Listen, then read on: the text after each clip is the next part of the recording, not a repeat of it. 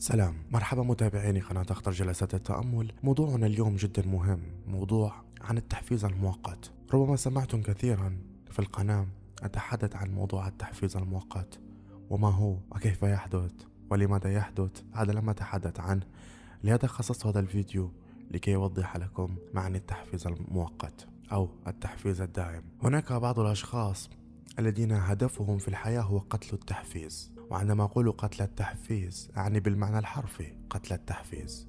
يعني بمجرد أن تكون متحفزا بشيء ما يتقدمون إليك مثل وحوش الظلام الذين اعتادوا أن يعيشوا في الكهف يخافون من نور الشمس أن تحرق أجسادهم. فيأتون إليك ببعض الأفكار وبعض التوجهات التي تجعلك تجعل تحفيزك يتدمر. وهذا ما نقصد به بمعنى التحفيز المؤقت ولكن سأستمر في التحدث لكي تصل الفكرة بمعنى صح وأدق وأكثر تفصيلا.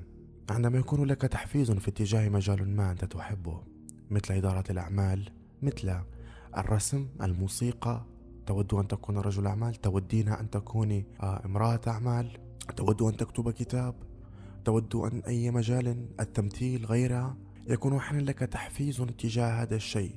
ويصبح العقل يتخيل نفسه في ظروف مختلفة اتجاه ما يحب. ولكن السؤال هذا هل هذا الشيء الذي أنت تريده وحقا أنت تريده؟ أم لأنك رأيت أنه يجني كثيرا من المال فقط؟ فإن كنت تراه أنه يجني كثيرا من المال فقط فسرعان ما يموت هذا التحفيز بمجرد أن تعتاد على العمل ويترى فيه الصعوبات والمشاكل فيموت التحفيز هنا.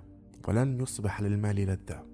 لأنك سوف تكون منشغلا. ليس بأشياء أنت تحبها وإنما بأشياء أنت لا تحبها ومجبر عليها. هذا من ناحية. من ناحية أخرى أحيانا يكون لديك فكر خلاق وأدركت فعلا الشيء الذي تحب والذي أتى إليك على صورة إلهام ربما أو ربما بعد تأملات عميقة. أدركت ما هو الشيء الذي تريده والذي ترى أنه مهما في حياتك أو هدف لك ما في الحياة. فتتقدم به بكل قوة. وكلما تعلمت كلما وجدت نفسك فرحا وكشفت كثيرا من اللغ... من الرموز والمفاهيم والعلم والثقافة. على أي صعيد أنت أردته الفن الموسيقى الأعمال التسويق أيا ما كان بمجرد أن تأخذ هذه المعلومات وتخرج بها إلى إلى أولئك الأشخاص الذين لا يزالون يعيشون في كهف الظلام. بكل تحفيز تذهب أنت هناك لكي تعطيهم قطعة صغيرة من بعض النور. فترى الاستهزاء يقول لك ها نسيت أنت تلك اللحظة لم تكن تدرس؟ ها نسيت أنك يعني هل أنت الآن تعلمت جملتين وأتيت تتفلسف علينا؟ هل أنت وهنا أحيانا الشخص يسقط في كلا من الشيئين. الشيء الأول يستسلم لأولئك الذين يعيشون في كهف الظلام ويرى الضعف النفسي له. وعدم ضبط النفس فيخاف من الانتقاد ويخاف من التقدم والمضي, والمضي قدما ويعود إلى كهفه لكي يستلقي مع أولئك البائسين الفاشلين الذين لا يعلمون أي شيء عن الحياة معتدين عن كهف الظلام. فيستلقي هناك ويقول هذا أمان لي من صراعات أنا في غنى عنها. وهذا هو التحفيز المؤقت بمعنى نصح. وهناك شخص آخر يقول آه انتقدوني وهذه علامة على النجاح. انظر إلى عدد أكثر من عشرة آلاف وعشرات الآلاف من الأشخاص الذين تم انتقادهم عبر التاريخ وعبر وقتنا الحالي. وهي علامة للنجاح أنني على الطريق الصحيح. فيخرج من كهف الظلام فورا لكي يضع نفسه في حلقة المتنورين. والذين يسعون إلى تحقيق حياة أفضل. فالشخص الأول اعتاد على كهف الظلام وخاف من النور وعاد ليستلقي بين أولئك المخذرين والشخص الآخر خرج من الكهف بكل ما فيه من تلوث ليذهب إلى النور وباتجاه الشمس والمعرفة. وهناك أيضا أشخاص الذين تأتيهم بعض نزوات الحب المشروط. وعندما أتحدث عن نزوات الحب المشروط أتحدث عن الشخص الذي فعلا يكون أحيانا تعلم شيئا ما ويذهب به إلى أولئك الذين يعيشون في الكهف ليخبرهم بها. سدد وقارب. ليس كل شيء ملائما لكل شخص وليس كل معلومة ملائمة لكل فكر. فهناك فكر مخدر يحتاج إلى معلومات مخدرة لأنه في صندوق أسود. لا يمكن أن تضع له تضع له نور قبل أن تقوم بتنظيف المكان. إن أردت أن تضع أتاتا راقيا وجميلا في منزلك تحتاج أولا أن تهدم بعض الأشياء في المنزل وتصيق بالماء وتنظفه وتلمعه ليصبح جميلا ومن ثم تضع الآتات. فلا يمكن أن تضع الآتات مع أوساخ كانت فيه بالداخل أو ولا يمكن أن تضع الأتات الجديد مع الأتات القديم فيعطي منظرا ليس صالحا وليس جميلا. وهذا مثال فقط عن وضع فكرك أو وضع معلومة ما في فكر شخص مخدر لا يعلم يمنة أو يسرى. وهنا أنا هنا لا أفضل أي فكر عن أي فكر أو أي آه وجهة نظر مع أي وجهة نظر. وإنما أتحدث عن الفكر الحر الذي يكون متقبلا لجميع الأفكار. ولكن لا لا لا لا يصح أن تضع فكرا ما متنورا في شخص اعتاد أن يجلس في الظلام قبل أن يقتنع الشخص بأنه في الظلام ويخرج إلى النور. فعندما تكون في غرفة مظلمة وهذا أبسط مثال عندما تكون في غرفة مظلمة لفترة من الزمن ويأتي شخص ما بنوره ليفتح لك النور فتقول له اغلق اغلق اغلق النور عيني تؤلمني. وهذا فقط تعبيرا مجازيا للشخص الذي أتى بالنور والشخص الذي يكون في غرفة الظلام. فإن أردت أن تسلك التحفيز فلا يوجد شخص يحفزك غير نفسك. نضال ربما يعطيك بعض الإرشاد الآن من هذا الفيديو. ربما يجعلك تثق في نفسك أكثر. ربما يجعلك تنظر إلى أفكارك وتصلح فكرك. إن أردت أنت ذلك وليس إجبارا. ولا تأخذني نزوات الحب المشروط لكي يجعل شخص ما إجبارا يغير فكره. فأنا لست مجبرا على ذلك إلا لمن أراد طريق النور لربما أعطيه الإرشاد ولكنني لست قدميه ولست يديه لكي أحركهما مثل الروبوت وأجعله يتقدم. النية الصافية من الداخل تنبع عندما يكون الفكر واعيا. كثير من الرغبات التي تأتينا بداخلنا تكون في اللاشعور معمية. وتأتينا أحيانا على هيئة أحلام على هيئة تخيلات على هيئة كذا. لكي تعبر عن نفسها. لعل ذلك الفكر المخدر يستيقظ ويذهب في طريق النجاح الحقيقية ولكن ترى ترى أن النية بعيدة كل البعد البعد عن الفكر. فترى النية والفكر شيئان مختلفان كاختلاف الحياة والموت. ترى نية صادقة وفكرا مخدر. والفكر هو المسيطر عن النية.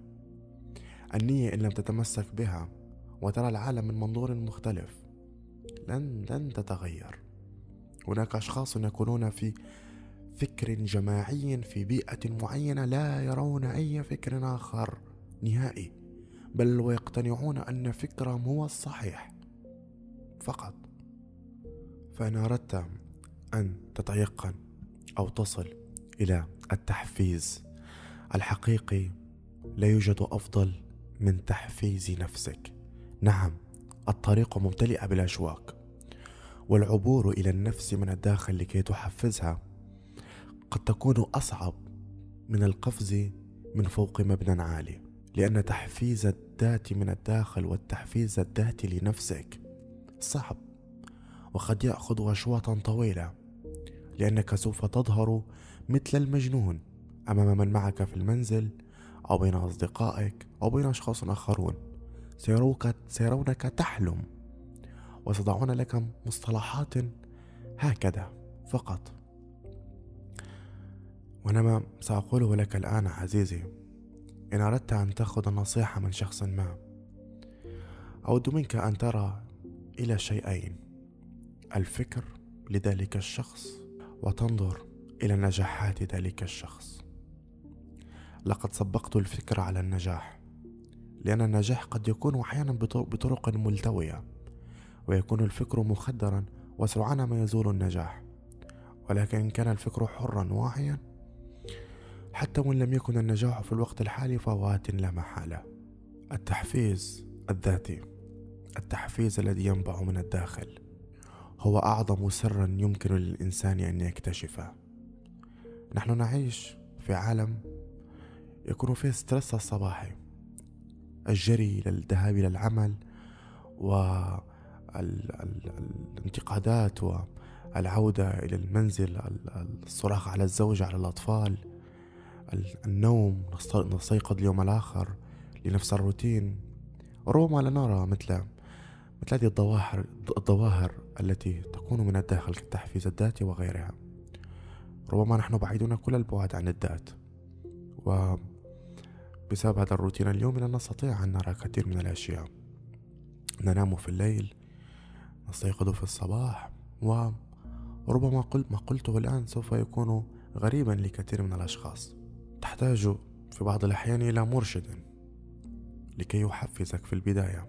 وعندما أقول مرشدا أتحدث عن مرشد يكون محفزا لك ولكنه ليس أساسيا لك وليس مثل الهاتف يكون معك في كل مكان وإنما هو فقط مرشد.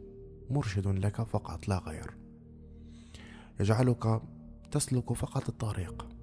تصلح فكرك الذي يؤثر على عقلك وعواطفك. ولكن الاستمرار والتعلق بالنية يعتمد عليك أنت رقم واحد. فنرى كثير من الأشخاص خصوصا في هذا الزمن يسألك هل هناك طريقة واحدة فقط فقط للوصول إلى النجاح الأعلى. وترى شخص آخر يقول لك هل هناك آه طريقة واحدة فقط لكي أط... لكي أغير فكري؟ وشخص آخر يقول لك أعطني أسرار العالم أجمع فقط في جملة واحدة أستطيع أن أفهمها. وهذه الاقتراحات بحد ذاتها نابعة عن فكر مخدر. فعندما تقول شيئا واحد ليجمع الكل هو بحد ذاته عمى تاما من النفس. بدون طلب أي بحث بدون طلب أي استفسار. وهناك من رأى أن الأغلبية الساحقة من البشر تريد مثل هذا الشيء فقاموا باستغلالهم والضحك عليهم مثل آه السر الأمثل للوصول إلى النجاح في دقيقة. والطريقة الأولى للعلاج جميع الأمراض في دقيقتين أو خمس ثواني. وفعلا ذهب هؤلاء الأشخاص لمن يروي عطشهم ويروي عطش سؤالهم المحدود. ولكن ولكن استغرب هنا من من شخصين. من من سذاجة ذلك الشخص الذي لم يبحث وفعلا صدق أولئك الذين يبيعون الهواء لكي يعطوه علاجا في ثوان أو في دقائق. ولكن بعد أن يدفع الثمن الباهظ ولا يرى العلاج فيقول له الشخص أنت لم تفهم ما أقول. ويتصنع له الأعذار والشخص الذي ذو فكر صاحب الفكر المخدر يعود مرة أخرى ليبحث عن شخص آخر يعطيه علاجا أو حلا في دقائق. وهكذا حال الأغلبية الساحقة اليوم. العقل المخدر قد يكون فيروس في بعض الأحيان وقد يكون سهل التلاعب به من قبل أولئك الذين يبيعون الهواء. أتحدث معكم الآن بالمنطق وأنا لا أطلب منك أن تصدقني ولا أطلب منك أن تقتنع بما أقول. ولن تأخذني نزوات الحب المشروط لكي يفرض عليك رأيا ما. عزيزي عزيزتي إن أردت أن تحصل على التحفيز وأن تصل إلى النجاح يجب عليك أن تزرعها بداخلك. وربما إن أردت أن أتحدث عن كيف تزرعها وكيف تصل إليها وكيف تزرع التحفيز الدائم وتجعله كمرجع لك كلما ينتقدك شخص يكون كوقودا لك للتحفيز بدل أن يدمرك. لا أستطيع أن أقول لك إجابة واضحة الآن لأن هنالك أشخاص من فكر مختلف وكل شخص كيف يستقبل؟ فهناك فكر يقول لك الانتقاد يجعلني أتوقف عن التحفيز. وهناك شخص يقول لك لا لا لا ليس لدي مشكلة في الانتقاد ولكن لدي مشكلة مع نفسي كيف أتقدم؟ وهناك شخص آخر يقول لك لا لا لا أنا لدي مشكلة أنني ناجح ولكن لدي مشاكل أنني في فكري يكون يموت التحفيز لأني في كل مرة أرى أنني سوف أصبح بنكرابت أي بمعنى مفلس ولا يستمتع حتى. فحتى ربما أعطي نصيحة لشخص ما عن زرع التحفيز يكون مبنيا على نوع فكره والعوائق التي هو فيها. فإن كان شخص ما قدماه عالقة في الوحل أو عالقة في شيء ما لا أستطيع أن أقول له أعطني يديك سأسحبك إلى الأعلى. لأن ليست له مشكلة بيديه وأن المشكلة في قدميه في الوحل الذي هناك. فسرعان ما تفك الوحل يخرج ذلك الإنسان. وهذا هو المعنى الصحيح للتواصل مع الفكر الآخر. ولكن إخراج الشخص من الوحل الذي علق في قدميه لا يعني من مرة واحدة. قد يأخذ شوطا حتى تعلم الشخص أن هذا الشيء هو فقط وحل. تخرج قدميه بسهولة القدم الأولى. ربما يراها متسخة فيخاف فتقنعه أنه فقط وحل ويقتنع.